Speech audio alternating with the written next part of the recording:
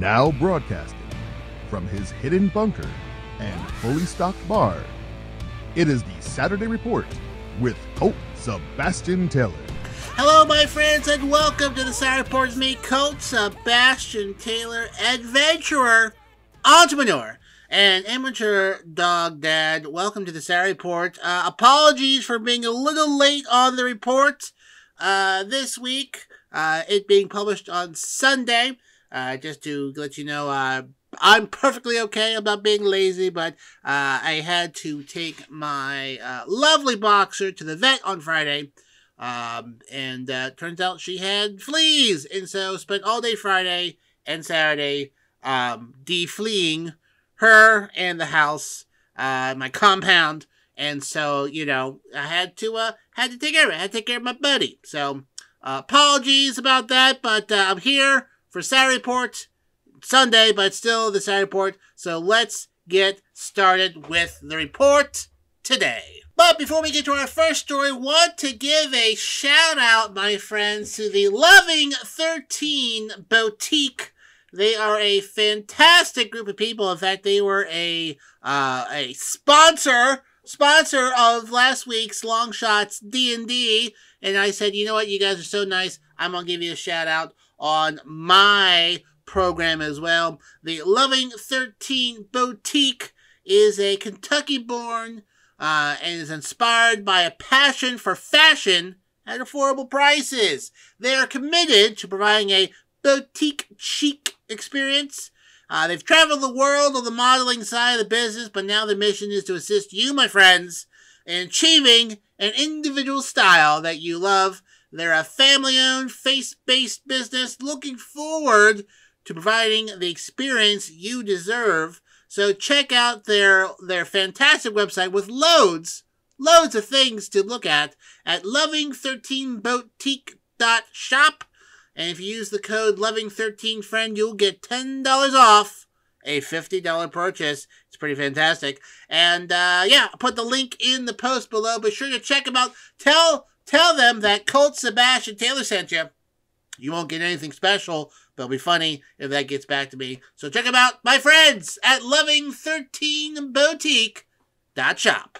First up, my friends, we go to crime in Florida. No, I'm not talking about the governor, who's a crime that he's still in office. No, I'm talking about theft from uh from a liquor distributor, actually. So I occasionally enjoy, uh, you know, I come across stories about people stealing booze. I like a little bit of drinking, drinking myself, but these folks, boy howdy, they like to drink, drink. They stole 1.6 million dollars worth of alcohol from a distribution company that carries such brands as Malibu and Jose Cuervo. Uh, burglars used tractor trailers, tractor trailers, uh, in July. This story is just coming up, on July 8th, at the Republic National Distribution D- Distributing Company uh, in Hillsborough County, south of Tampa, uh, according to a newly unsealed search warrant that was obtained by news organizations on October 5th.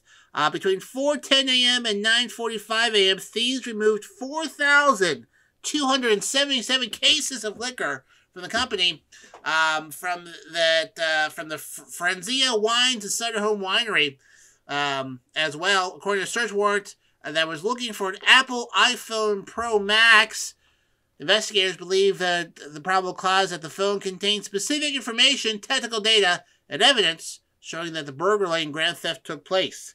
I can only imagine folks were likely taking selfies and chatting back and forth about it. Um, the uh, the it's located in Gibson, Florida. It is one of the largest wine and distribute wine largest wine and spirits distributors dis- distributors with 14,000 employees in 38 states and Washington D.C. according to the company's website. So the um the, the company the Republic National Distributing Company, one of the biggest in the in the country, has people all over the place. According to Vice President of Corporate Communications, released a statement after the um, search warrant was unsealed. Quote, while we are unable to comment at this time because this is an active law enforcement investigation, we have confidence that the law enforcement is handling this matter seriously and taking all necessary steps to find the perpetrators of this crime. Um, the surveillance video of nearby businesses and convenience store was able to identify the use of tractor trailers in the burglary, and then they found additional surveillance footage uh, of the tractor trailer storage facility showing the three tractor trailers were used to remove cases of alcohol. So, three tractor trailers of booze stolen from this in July, and now they're looking for a very specific cell phone to prove that they, the criminals, probably haven't drank all that by now. Probably they're, probably, they're probably gonna be caught. Probably gonna be caught. So, fellas, might whoever whoever is like the least amount of a drinker, you might want to cut a deal. Yes, my friends, we go to the world of entertainment where Michael Caine has announced he is finally retiring from acting. Um, you may know him from hit movies like The Dark Knight, The Italian Job, uh, but uh, he is now finally retiring. Uh, his last movie is called The Great Escaper, where he plays a World War II vet escaping a nursing home to go back to Normandy during his celebrations. Um, but he said during a BBC Radio 4 interview, quote, I keep saying I'm going to retire. Well, I am now. Uh, he went on to say, I've played the lead and it's gotten incredible role reviews, talking about his latest movie. The only parts I'm going to get now are old men, 90 year old men, or maybe 85, you know, and I thought, well, I might as well leave with all this. I've got wonderful reviews. What am what am I going to do to beat this? Um, so he stars alongside Glenda Jackson, playing Bernard Jordan, a 90 year old who absconds from a care home to attend the 70th anniversary of the D Day landings, based on a true story. Based on a true story. And uh, yeah, so he's retiring. He is a he has had a long, long career. Uh, began acting on stage in the 1950s. Made his movie debut in 1956. Um, he uh, he was originally called Maurice uh, Joseph Micklewhite Jr. before he uh, he adopted the name uh, Michael Caine and then made it his legal name. He's played secret agents, playboys, adventurers, school teachers, and killers. Uh, he portrayed the British spy Harry Palmer in five films, with fame coming after his first stint in the role in the 1965 thriller The Ipcress File. Uh, he was a uh, promiscuous chauffeur in the 1966 romantic comedy Alfie. Uh, he was received his first Academy Award for a supporting role in the Woody Allen film Hannah and Her Sisters, and a second for the 1999 film Cider House Rules. Um, he was uh, starred along uh, Sean Connery in 1975's The Man Who Be King. Good movie. He played a, Viet, Viet, a journalist in Vietnam in Graham Greene's The Quiet American in 2002. And of course, a lot of people know him as Alfred Pennyworth during the Batman with Christian Bale series. Uh, he was made a commander of the Order of the British Empire in 1993 and knighted in 2000. Some other awards he has received. Uh, he received Best Actor nominations uh, in uh, 66, 72, and 83 for Alfie, Sleuth, and Educating Rita, and then Best Actor again for The Quiet American in 2002. Uh, he's been nominated for um, various BAFTA awards. Uh, Best Actor in a Leading Role, winning with Educating Rita in 1983. Uh, and then also some of his other uh, movies. Well, I've actually I've already mentioned all these. Uh, the Ipcress File, Alfie, The Honorary Consul, Hannah and Her Sisters, Little Voice, Sirehouse House Rules, and The Quiet American. Uh, nominated for a number of Golden Globe Awards, uh, winning for Educating Rita, Jack the Ripper, and Little Voice. Screen Actors Guild Award for Cider House Rules in 1999 and then a variety of other uh, awards throughout the year. So, very famous Michael Caine. Michael Caine, well known for his uh, Cockney accent. Uh, very, very long and storied career. Um, other other movies you should check out: the original Italian Job in 1969, The Battle of Britain, uh, Zulu 1964, uh, A Bridge Too Far. That was a good one. Uh, he was also in the Muppets Ca- Christmas Carol. Great one. Great one. You should definitely check that out. Uh, he was in uh, Miss Congeniality, just to name some of these uh, other ones. He was in The Prestige. Good one. Children of Men. Another good one. Uh, Inception. Uh, he was he was he's in a lot of um, uh, a lot of uh, Christopher Nolan movies. Obviously, uh, he was in the first Kingsman, The Secret Service. So, uh, yeah, uh, plenty of movies to uh, pick from. From his first on-screen appearance, uncredited in 1950, to his last movie, The Great Escaper, in 2023. That is 73 years of being on film, over 130 films. Pretty amazing stuff. So uh, be sure to check out some of Michael Caine's wonderful movies. Also, some terrible ones. He was in a Jaws movie. but check it out. Um, it is, he's a great actor. His last movie, apparently, uh, getting very good reviews. I'll probably check it out.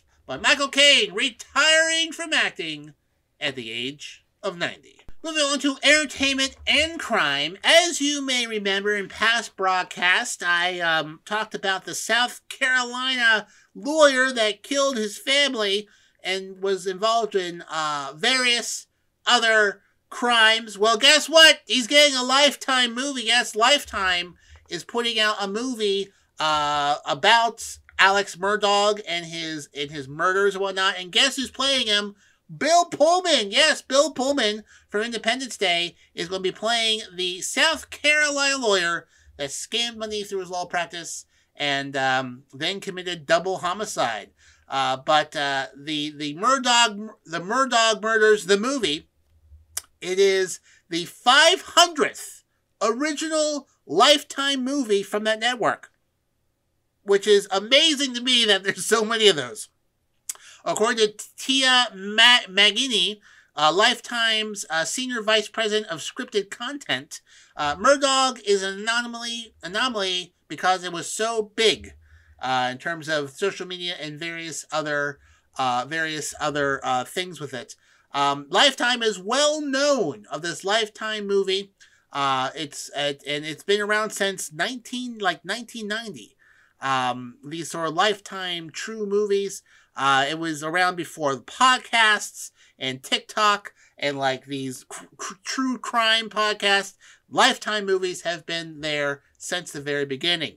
Um, but but you know they've had a lot of competition now. Now these these miniseries on HBO, Netflix, FX, uh, uh, uh, uh you know, c- trying to get attention uh, with these true crime documentaries and miniseries. Uh, but uh, Lifetime even got an Emmy nomination, uh, ranging from uh, Coco Chanel, starring Shirley MacLaine, and Taken From Me, the Tiffany Rubin story uh, with uh, Tarja, Tar, Tar, Tar, oh boy, Taraji P. Henson. I think I'm saying that name incorrect. Um, according to the vice president, quote, we reach for the stars, but it's hard to compete with Cate Blanchett in a limited series that costs 40 times our budget. So they have a hard time competing with these ones, but they're still p- pounding them out, pounding them out. Uh, but but uh, with that said, with that said, uh, the average viewership of the Lifetime original movies have grown uh, by seven percent among the network's target audience, which is women between the ages of 25 and 64, uh, compared to the last year at the same time. Uh, the broader audience for Lifetime's original movies has increased 16% to 776,000 total viewers. According to Elaine Frontain Bryant, the executive vice president and head of program for Lifetime, Lifetime Movie Network, and A&E, uh, we know that what our women want to come and see. Uh, Lifetime, you may not know, puts, produces 40 to 50 original movies a year and also acquires finished movies to schedule at least one premiere a week. The originals include Holiday Fair, juicy music biop, biopics, bio, bios, unauthorized celebrity sagas, uh, and partnerships with famous women, including a recent movie inspired by the relationship, drama, and Mary J. Blige's songs. So, uh, pretty, pretty, pretty amazing stuff there. The Lifetime, they, they, they, they, they put out a lot of content, an impressive amount of content at a pretty good at a pretty good at a pretty good rate at a pretty good rate. So the Murdaugh murders um, is coming um, soon. Uh, Lifetime began filming as soon as the guilty verdict came in, and uh, they're going to put out. I think it's a two. I think it's a two-part series. Uh, Bill Pullman signed on to star it last May.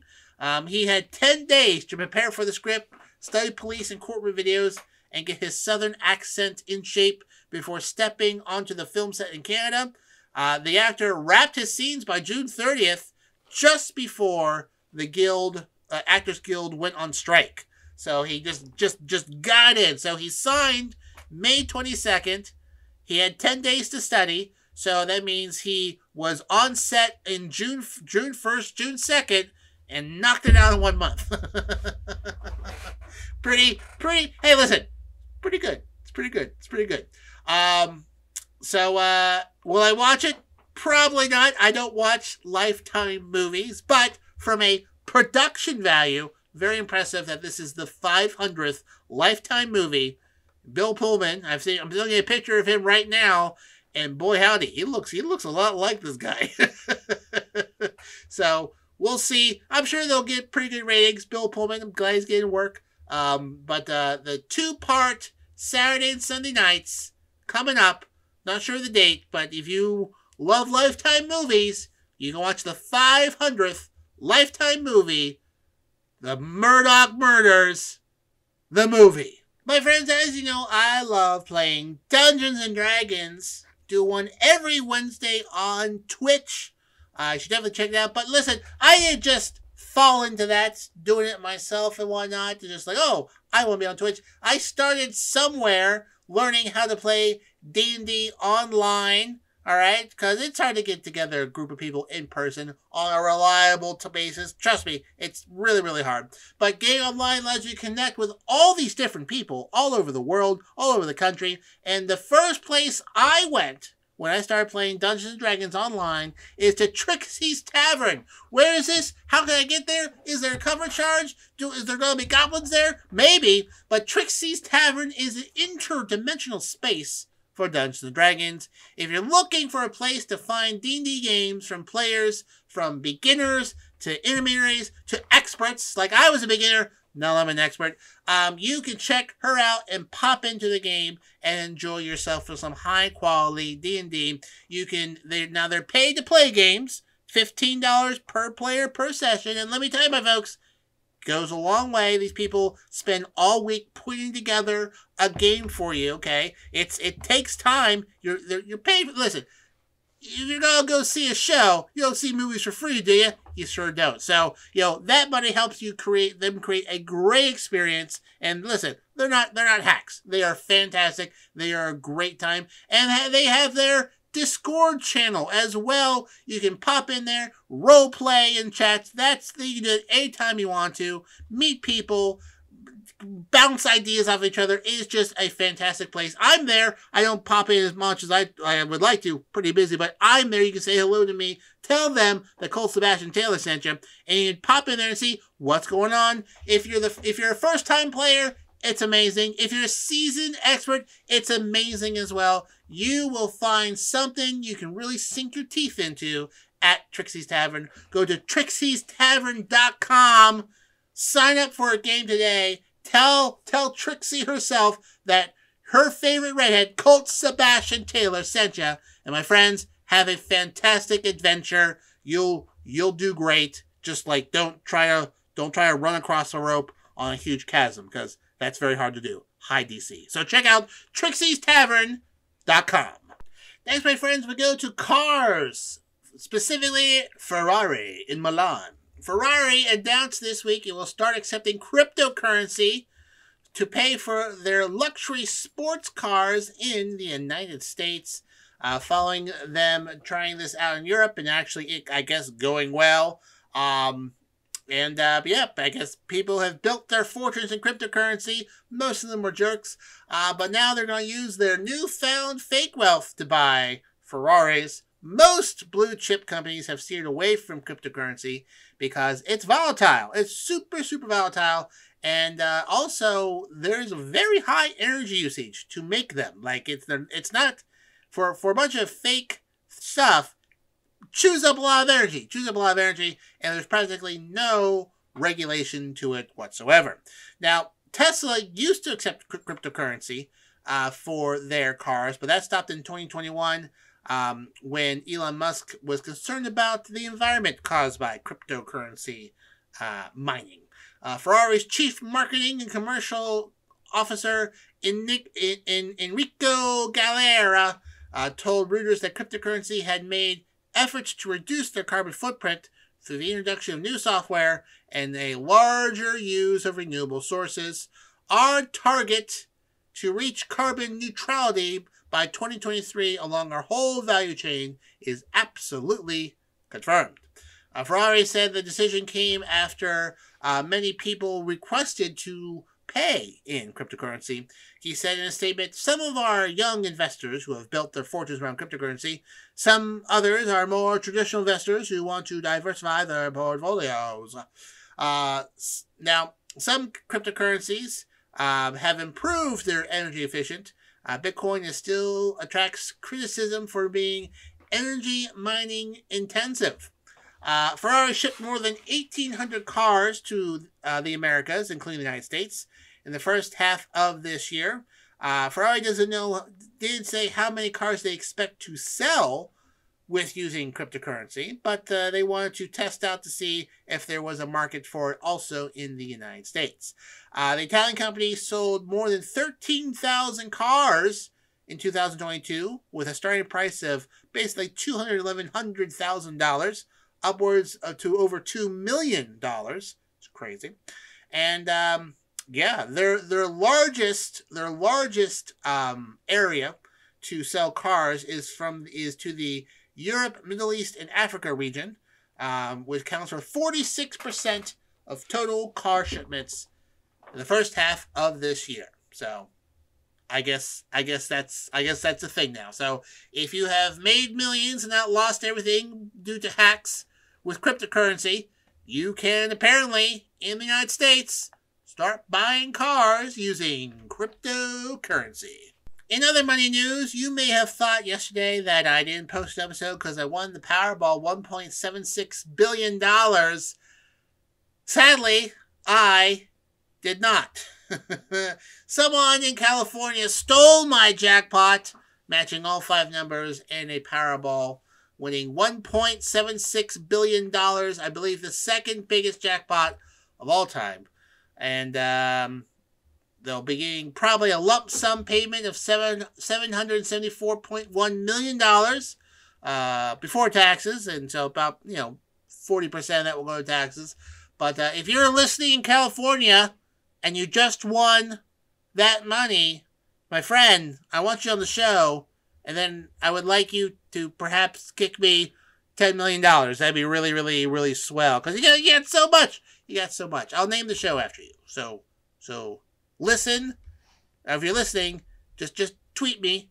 Just tweet me. Just tweet on over here, and uh, we'll we'll figure something out. We now go to the world of art, specifically the Mona Lisa, one of the world's most famous paintings.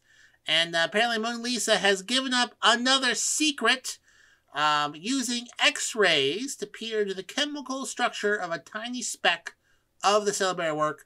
Uh, scientists apparently have found out that uh, got new information about the techniques used by Leonardo da Vinci used to paint this groundbreaking portrait of a woman with a with a very unique little little smile. According to research published by the Journal of American Chemical Society, uh, suggests that the famous uh, famously curious, learned, inventive Italian Renaissance master may have been in a very experimental mood when he began to paint the Mona Lisa in the early 16th century. The oil paint recipe that Leonardo used as his base layer to prepare the panel of poplar wood appears to have been different for the Mona Lisa, with its own distinctive chemical signature, according to a team of scientists and art historians in France and Britain. Quote from Victor Gonzalez, the study's lead author and chemist at France's top research body, the CNRS. He was someone who loved to experiment, and each of his paintings is completely different technically. So um, apparently, I went on to say In this case, it's interesting to see that indeed there is a specific technique for the ground layer of the Mona Lisa. Uh, researchers found a rare compound, plum on onocrite, uh, in Leonardo's first layer of paint. The discovery confirmed for the first time uh, what art historians have previously only hypothesis, uh, um, uh, had a, a, hypothesis about that Leonardo most likely used lead oxide, oxidized powder to thicken and help dry his paint as he began working on the portrait that now stares out behind protective glass in the Louvre, the Louvre Museum in Paris. So um, that's this. They used a a synchrotron, which uses X-rays. It's a large machine that that uh, sends particles at the speed of light, allowing them to unravel a speck of paint's chemical makeup. And plumbonacrite is a byproduct of lead oxide, allowing researchers to say with more certainty that Leonardo used that powder in his paint recipe. According to Gonzalez, that it is a really a fingerprint of his recipe. It is the first time we can actually chemically confirm it. Um, Dutch master Rembrandt uh, is uh, thought to have used a similar recipe when painting in the 17th century, and Gonzalez and other researchers have found uh, plumbonacrite in that work also. Uh, he said, It also tells us that those recipes were passed on for centuries. It was a very good paint recipe. Uh, Leonardo has thought to have dissolved lead oxidized powder, which has an orange color, in linseed or walnut oil by heating the mixture to make it thicker, uh, fast drying paste. Quote, what you will obtain is an oil that has a very nice golden color. It flows more like honey. But the Mona Lisa, said to be said by the Louvre to be a portrait of Lisa Gherardini, the wife of a Florentine silk merchant, and other works by Leonardo, still apparently have other secrets to tell, and they will continue to research the paintings. According to Gonzalez, there are plenty, plenty more things to discover for sure. We are barely scratching the surface. What we are saying is, is just a little brick more of knowledge about Leonardo, uh, Leonardo da Vinci. So, hey, I love science, so stuff like that's right my alley. They're they're trying to break down the recipes of paint that these great artists and portraits and painters use to make the amazing paintings that uh, you can see today at a nom at well a nominal fee. I don't know how much it costs to get to the museum. Probably not cheap, but uh, you can see these paintings centuries, centuries old, holding up over time. Pretty amazing stuff. Moving on to entertainment and coffee. As you know, I do like the show Yellowstone and uh, Cole Hauser, who plays Rip, Rip, uh, is launching his own coffee line inspired by his own cowboy roots called Free Rein Coffee. Um, he uh, launching it. The new brand is meant to be a nod to the rugged spirit of the West and pay tribute to the hard-working cowboys that he grew up around on and off set, according to the statement from the company. There are six blends, each to cater to different tastes, but all have cowboy inspired names. Uh, for example, Heavy Spur is ideal for sippers uh, who like a lot of caffeine. Uh, Branded has cayenne and cinnamon. Uh, and then uh, America Dirt is Hauser's personal choice for the dark 100% Arabica blend. Uh, they're being sold in 12 ounce packages of ground or whole beans, retailing for $16, and 12 pack of coffee pod, pods, little coffee pod thingies you put in the coffee makers, for $12. Uh, and there are, of course, discounts if you buy more or set up a subscription. And there's also branded drinkware and apparel. Pretty amazing stuff. Uh, the Western influence of the coffee goes beyond aesthetics. The small batch facility is located in San Angelo, Texas, that has been roasting coffee beans for over 25 years before Hauser bought it. So this is like his company. That Yellowstone money must be paying him good to buy a coffee company. Uh, according to the press release, uh, quote, with free rein, we're not only crafting a premium coffee experience, but also paying a heartfelt homage to the American dream. As a nation built on dreams and aspirations, we want to inspire the go getters, the dreamers, and the believers to fuel their pursuits Just as the American dream knows no boundaries, we aim to exceed expectations and create a legacy of our own, one that is deeply connected to our roots and core values that shape us. I'm excited for everyone to finally have their hand on this coffee. So, Cole Hauser, uh, as you may know, was People's 2020 sexiest, sexiest man alive, apparently, or at least he was in the issue. Uh, grew up in Santa Barbara and a ranch in Oregon. Uh, he recalled a childhood filled with riding horses and cruising around with cows and all kinds of different animals that we had. Quote, My mom would ring the dinner bell, and the horses I used to have, Cinnamon, he'd come up and drop his head, and I'd just slide down his mane and ride into the house. So I've always been outdoors. So, but he's not the only feller from Yellowstone putting out a product. Um, uh, Gator, the chef the chef that's on the um, show, uh, Gabriel Gator Gerbu, Gerbu, um, he released a cookbook. He was, I guess he is an actual cook, but he released a cookbook called um, um, Yellowstone, the official Dutton Ranch cookbook, uh, full of recipes he has made for the cast while filming in Montana and dishes that the on-screen family eats whether it be Rip's fried bread with scrambled eggs and bacon, or Beth's cheesy hamburger mac hamburger mac casserole. Uh, he plays a cook on the show, and he is actually a cook. He cooks for the cast and whatnot. So, and I think his name is actually Gator. This is like just call me Gator. Not really an actor, just a cook. So, if you're a big fan of coffee, Yellowstone, and cooking, then you're you should get these these three things. You should watch Yellowstone, get the cookbook, and check out Rips Coffee. So, uh, hey, more power to him. I, if, if, if I was getting tons of money, I would probably put out, let's be honest, it'd probably be a whiskey. Let's, I'm not to pretend I'm to be fancy. It'd be a whiskey, I think. So, maybe one of these days. If I won the Powerball, I definitely would have. But, unfortunately, everyone will have to wait for Colt's whiskey. Moving along, folks. Um, I have hit this story at least once, twice, if not every year. But in Alaska, at the uh, the Katmai National Park and Preservation, Alaska, every year they have a fat bear competition where they post pictures of all the bears as they begin to hibernate, and you vote on the best fat bear of the week or of the year. And there's a new champion. New champion, uh, bear named 128 Grazer has been crowned the winner of the 2023 Fat Bear Week, has joined the Hall of Champions. Get it? Get it? According to a post on Facebook, the gutsy girl grounded the guy with a gut.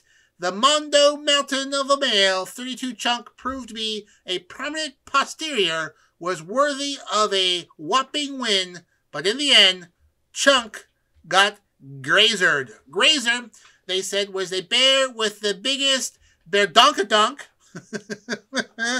received an overwhelming majority of the votes in the final round, 108 108,321 votes to a to a mere 23,134 votes. That is a uh, that is a distinctive win.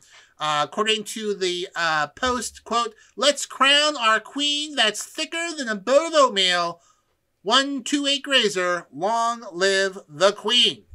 Um, 128 Grazer went up against seven other bears to get the coveted title, including one of her own cubs, Bear 428, according to the Facebook post. Uh, Fat Bear Week is held every year to celebrate the bears of Brooks River in Alaska as they finish up their bulk before they go into hibernation for the winter. For, for the winter, uh, and the winner of this one's contest apparently was for the books According to officials, Grazer was first found in 2005 when she was just a cub, and since has emerged as one of the best anglers at the river, known to successfully catch fish on numerous in numerous locations. Uh, she also is a particularly defensive mother who has raised two litter of cubs and is known to confront and attack other bears, even those who are much larger and more dominant than she is. Uh, quote, in summer 2023, many, many bears remember her reputation and Grazer maintained a high level of dominance even though she was single. Grazer's combination of skill and toughness makes her one of the Brooks River's most formidable, successful, and adaptable bears. So, Grazer, 128 Grazer, congratulations, Thick Queen, for being this year's Fat Bear Week champion.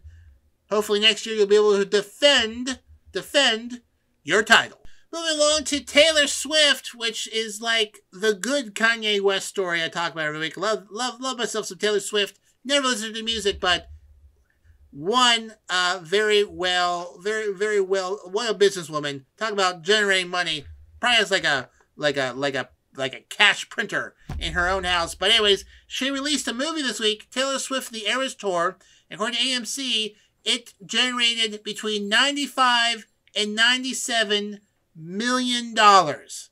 Now, just for a just for a comparison, the all-time opening weekend for a movie was The Joker at 96.2 million. So it could be, depending when the final numbers come in, the highest opening movie in all of October of all time.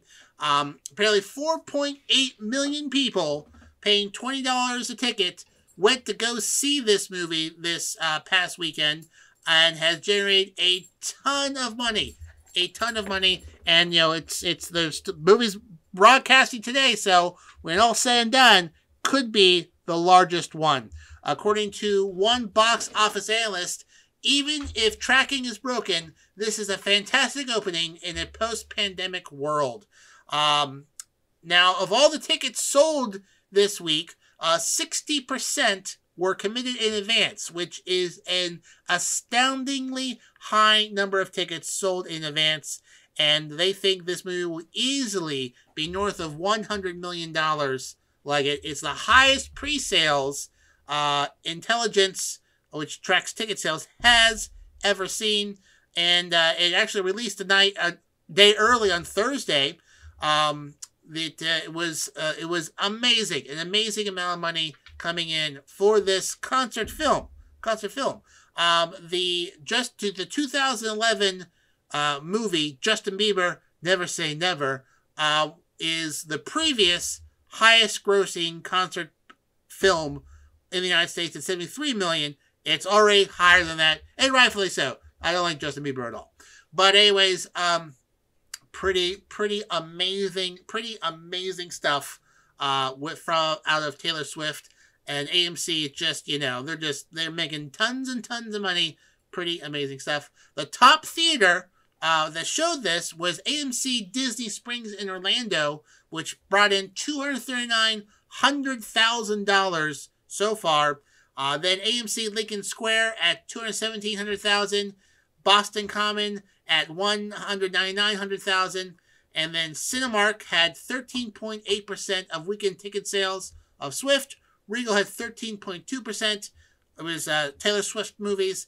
And Canada Cineplex was 5.7 of all sales was this movie. So that is uh, that is some pretty pretty crazy stuff. The Eras Tour smash hit from Taylor Swift. Uh, I'll never see the movie. It's three hours long. Not my thing, but pretty impressive production from Miss Swift. And she's dating a football player, so when that is likely to fall apart and she breaks up with them, will probably be even more great music. So, you know, just just waiting for it to happen. So, congratulations, Taylor Swift, on an amazing, record breaking weekend box office opening of her Eras Era Tour concert film. Well, my friends, that just about wraps up this week's Side Reporters Me, Colt Sebastian Taylor. Thank you so much for joining me here today. Remember, you can find me on a variety of social media channels like the Twitter, the Facebook, the Instagram, the Counter Social, the Threads, all at Colt S. Taylor. I'm also on Cameo at Colt S. Taylor. Um, go to ColtSebastianTaylor.com for all my Colt Sebastian Taylor updates. And of course, if you are listening to this program, you need to subscribe to the podcast version. Well, you're listening to the podcast version, and you need to, subscribe to anchor.fm slash Colt S. Taylor so you can be updated when I post out new weekly episodes. And then finally, once again, be sure to check out Loving 13 Boutique for all of your fashion needs, as well as Trixie Ta- Trixie's Tavern for all of your Dungeon and Dragon needs. Links to both these wonderful places are in the post below, so do check those out. I think you'll enjoy them. I wouldn't plug them if I didn't think they were quality. So, until next time, my fantastic friends, I'm, of course, your friend, Colt Sebastian Taylor, and I'll see you later.